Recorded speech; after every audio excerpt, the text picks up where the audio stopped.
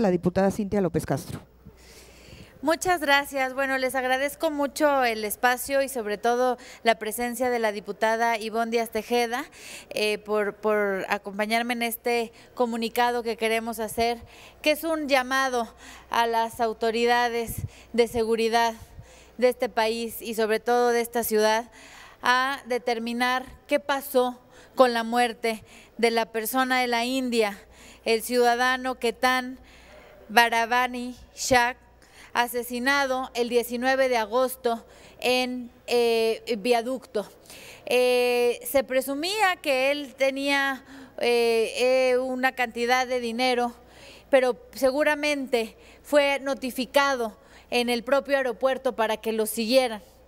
Todos los que hacemos transacciones bancarias en este país, que vamos, vamos al cajero, vamos al banco, ya ha habido diversas eh, acusaciones a los propios trabajadores de avisar o como se dice, de dar el pitazo eh, y avisar e ir eh, por las víctimas. Nosotros queremos ir seguros a un cajero, nosotros queremos ir seguros a un banco sin ser asaltados o queremos ir al aeropuerto y si hay necesidad de cambiar algunos dólares, pues que no se dé este famoso pitazo para que metros después seamos asesinados.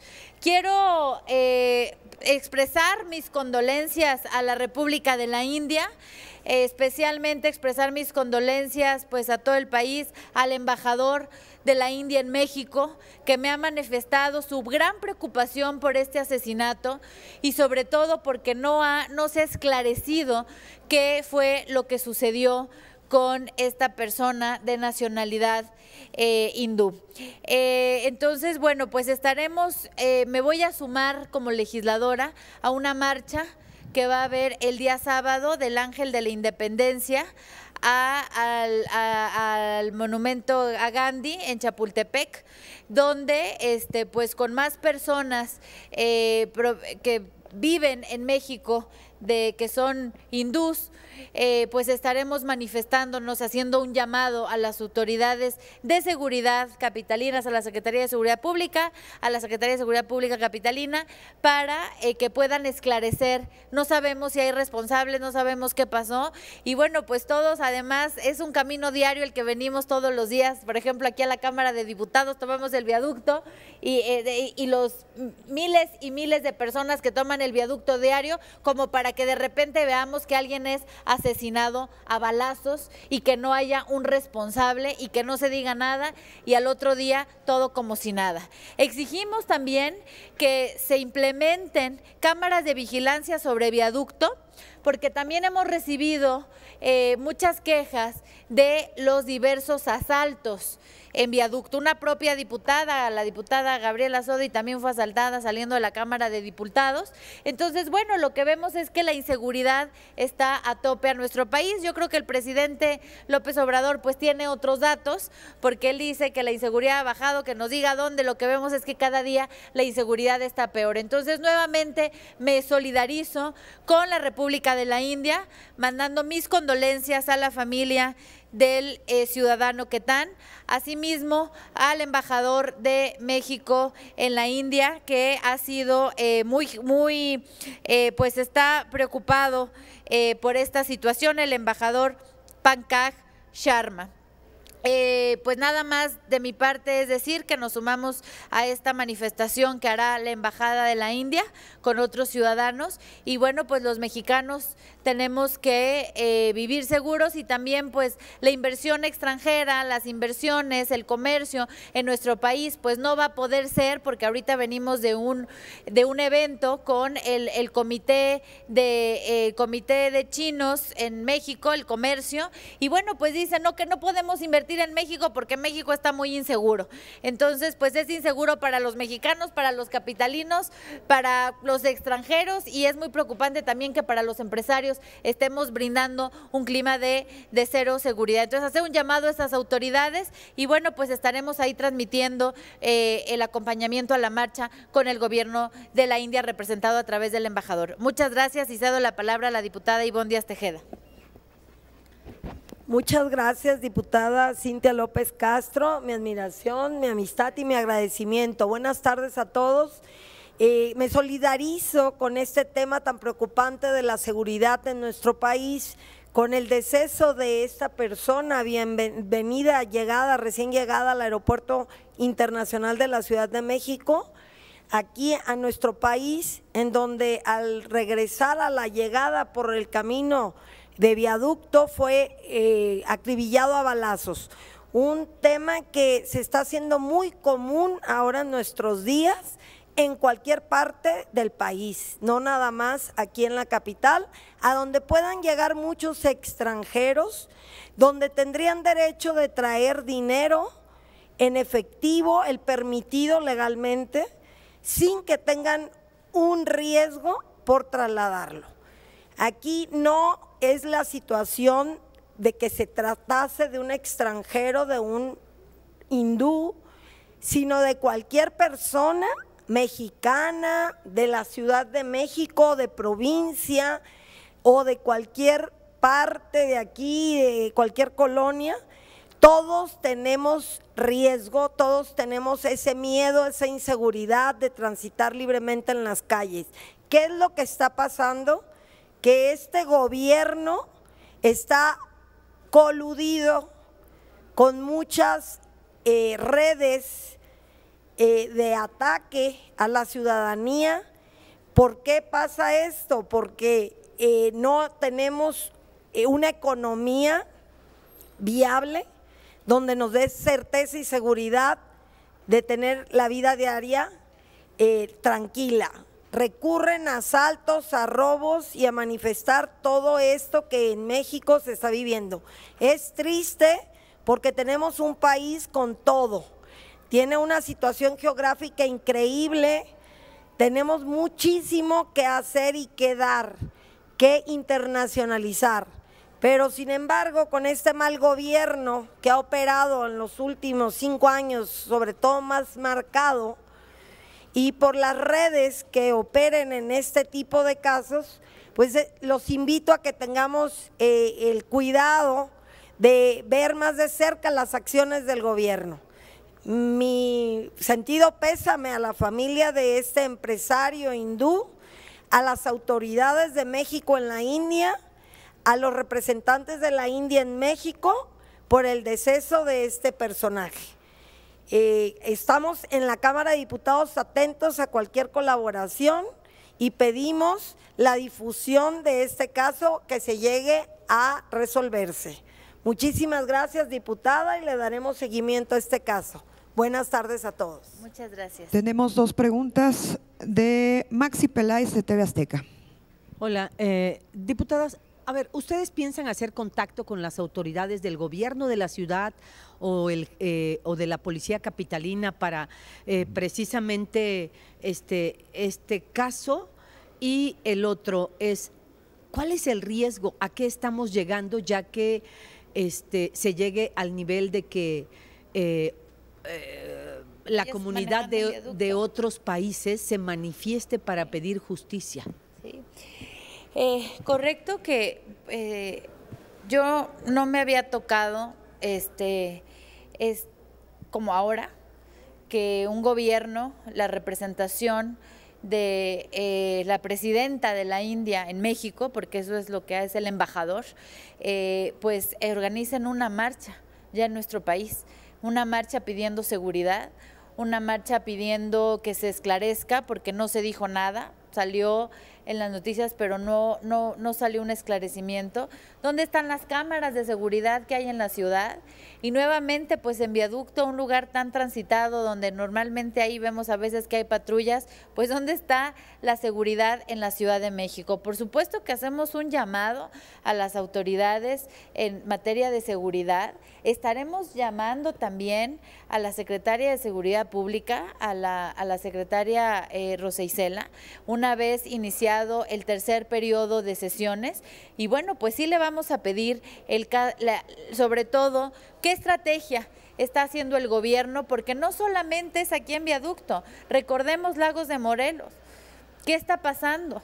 No hay una explicación Al otro día salieron eh, otros desaparecidos, unos dicen que sí eran los hermanos, otros que no, no hay esclarecimiento. En la Ciudad de México, yo les quiero decir, ahora que estoy recorriendo las calles todos los días, van más de cinco eh, personas que tienen Ubers que me dicen, y eso es algo que no se ha manejado, por ejemplo, cómo están asaltando, cómo están robando los vehículos ahora. Y les quiero compartir, ahora están robándole el teléfono a la gente, piden Ubers desde sus teléfonos, se suben una persona al Uber y 10 minutos después les quitan el coche.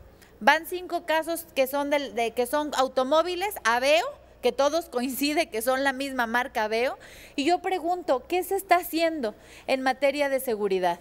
Vemos que cada vez hay más asaltos, hay más robo, eh, hay más robo eh, transeúnte, hay más robo en el transporte público y lo peor del caso es que tenemos un gobierno federal que sigue diciendo que ha bajado. Entonces, ¿qué vamos a hacer? Pues vamos a aprovechar que esta es el tercer periodo, el tercer año, y vamos a citar también a comparecer a la secretaria para ver qué es lo que se está haciendo en materia de seguridad. Y bueno, pues yo haré un punto de acuerdo a la Secretaría de Seguridad Pública de la Ciudad de México pidiendo expresamente que se esclarezca el caso del ciudadano Ketan Barabay Shah, ciudadano de la India que fue asesinado a balazos en pleno viaducto Miguel Alemán. ¿Pero qué sabor de boca deja que ya la comunidad de otros países salga? Que no hay gobierno, que no hay gobierno, que no hay autoridad, que no responden, que ya otros países tienen que estar Imagínense, ya otros países, tenemos alerta de inseguridad marcada por Estados Unidos. Se presentó hace el mes pasado, hay alerta de, seguridad para todos los viajeros que turísticamente quieran venir a México, tenemos una alerta de seguridad. Entonces, ahora el gobierno de la India en México pues hará una manifestación el día sábado exigiendo seguridad. ¿Qué es lo que vemos? Que este gobierno no está respondiendo y es muy lamentable que tengan que ser otros gobiernos de otros países los que tengan que venir a exigir inseguridad, este, seguridad en, nuestro país. Entonces, eh, lo que vemos es que ya estamos pasando a ser una vergüenza internacional porque las propias autoridades mexicanas no están respondiendo y ahora tienen que venir gobiernos de otros países a, señalarnos eh, eh, lo que hay de inseguridad y a pedir que se esclarezcan estos casos, porque aquí oídos sordos, ya pasó, esto fue el 19 de agosto, eh, ya pasó una semana y no tenemos razón de qué fue lo que pasó con este asesinato. Y lo mismo, lo mismo vemos con el asesinato del empresario, ¿no? Allí en el propio Bar República, y vemos lo mismo. Este, eh,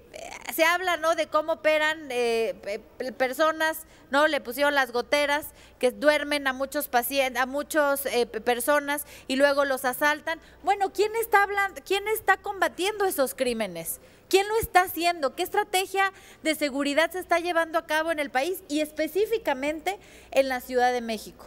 Entonces, yo les quiero decir que en estos recorridos que he hecho en la ciudad, ya hay zonas donde la propia gente te dice, ahí no puede entrar, porque está en manos del crimen organizado y ya nadie entra. Entonces, pues sí hacemos un llamado a las autoridades a poner orden porque es una vergüenza que otros países tengan que pedir seguridad. Gracias, Maxi. Tenemos a Jaime Obrejero de W Radio.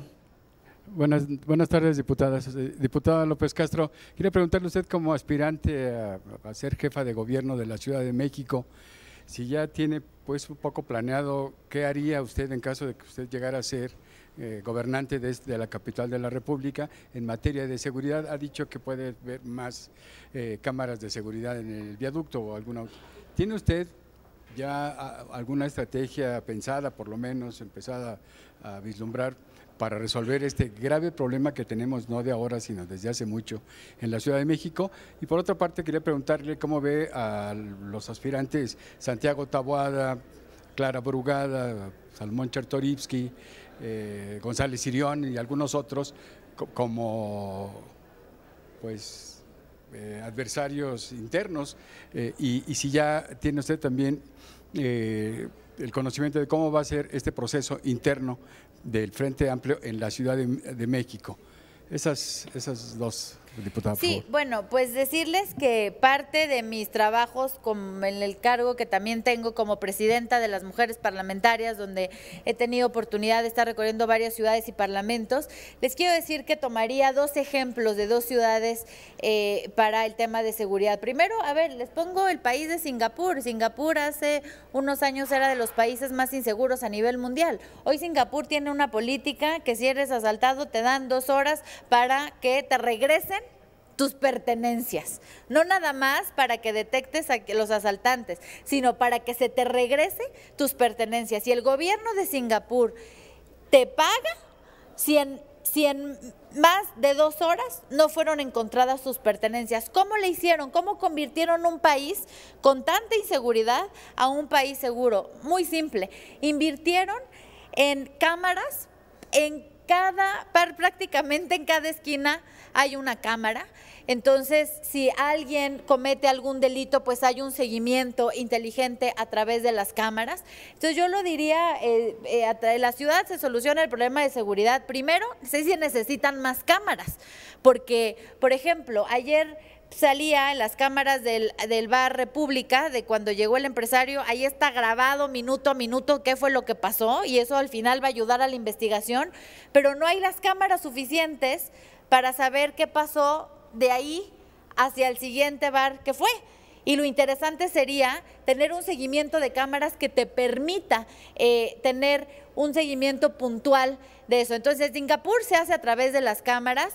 Eh, en el caso, por ejemplo, en Estados Unidos, eh, el caso, te doy el caso que recientemente fui con autoridades de Nueva York, eh, de la alcaldía, a preguntar cómo atienden en materia de inseguridad. Y bueno, como lo hacen es con la policía de proximidad, ¿no? Tienen policías que están destinados, pues, en los barrios, en los, en los condados, en el caso de México, pues, en las alcaldías, en, en ciertas colonias. Bueno, son policías de proximidad donde el policía está mucho más cerca de los lugares y sobre todo en puntos rojos. Y tres, pues sobre todo mayores sueldos. Un policía gana en promedio 8 mil pesos.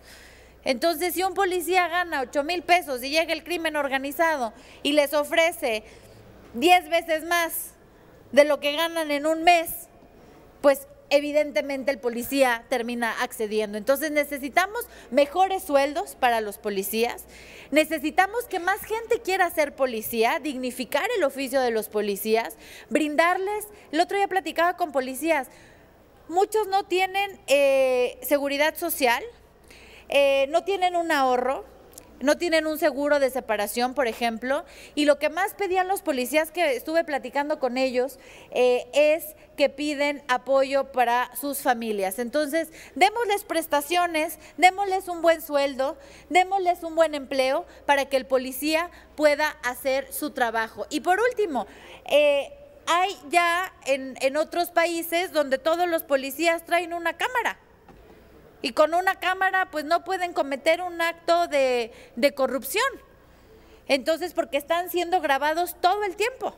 Y si son, y si son detectados que cometieron algún acto, son inmediatamente sancionados. Entonces, si soy eh, jefa de gobierno, me iría por policía de proximidad, traería el sistema de seguridad como lo tiene Singapur, que es un sistema, traería una inversión eh, tremenda en cámaras de vigilancia, con centros de operación que pueda haber un seguimiento de las cámaras, aumentar el número de policías y aumentar el sueldo y las condiciones de los policías para acabar la inseguridad. Y además me dedicaría eh, a dos principales cosas.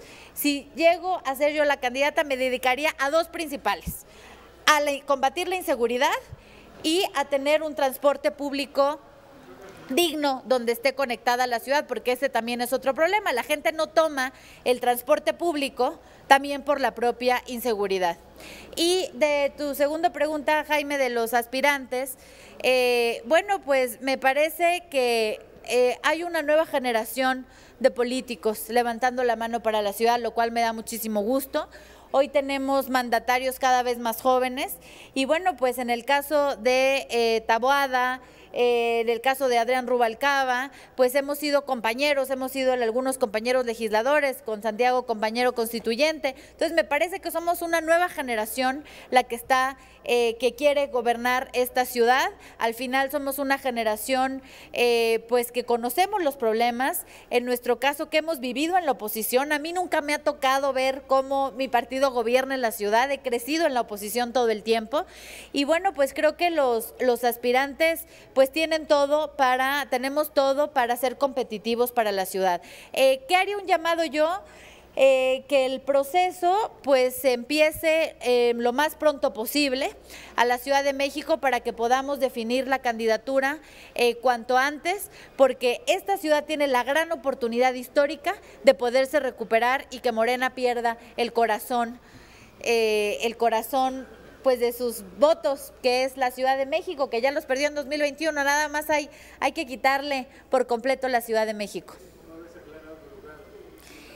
A ver, creo que la principal cualidad que debe de tener un candidato o una candidata para la Ciudad de México, yo diría que tienen que ser tres cosas. La primera, manos limpias, una trayectoria limpia. Eso es lo primero. Yo en 18 años que llevo en la política, cuatro veces legisladora, nunca he estado involucrada en ningún escándalo. Tengo una trayectoria limpia y no tengo un solo negocio por donde le busquen. Creo que se necesita manos limpias. Dos, se necesita preparación. Ya no queremos autoridades que no sepan ni dónde están parados. Y tres, se requiere versatilidad. ¿Qué es versatilidad? Que puede estar en Iztapalapa, ¿sí? Pero que también puede atender a los vecinos de las lomas, pero también puede ir a Milpalta, pero también puede estar en Benito Juárez.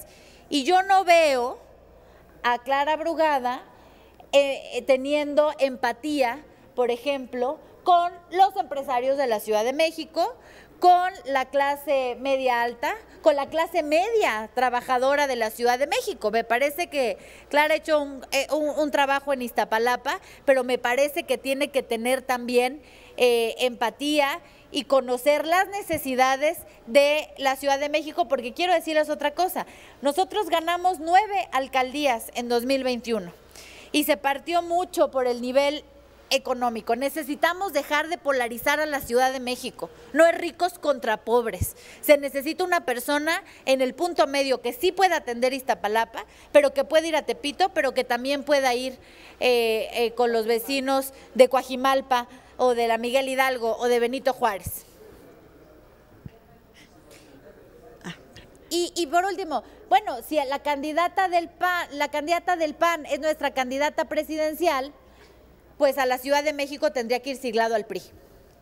Y esa es una batalla que vamos a dar. Nos toca la candidatura en la ciudad.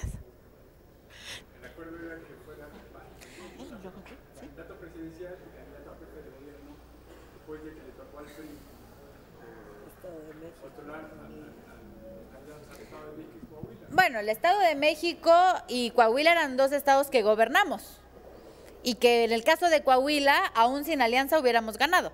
Entonces, eh, me parece que en el caso de la ciudad, pues si es una alianza se tiene que poner de acuerdo en las alcaldías también, porque ya salieron los distritos de competitividad que es algo que vamos a estar vigilando mucho, porque hay distritos de competitividad y donde tienen que además cumplir género.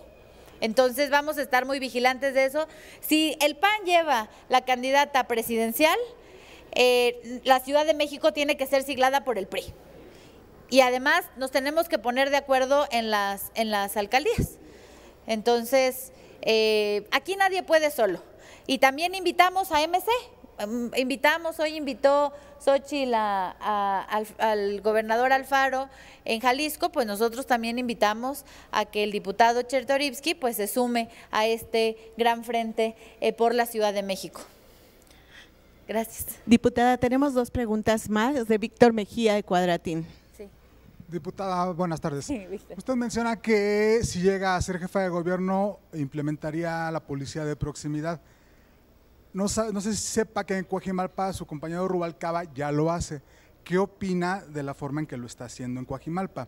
Y la segunda pregunta es, usted menciona ahorita, después de que le pregunto a mi compañero, de que si la candidata presidencial es panista, eh, aquí en Ciudad de México tendría sede del PRI.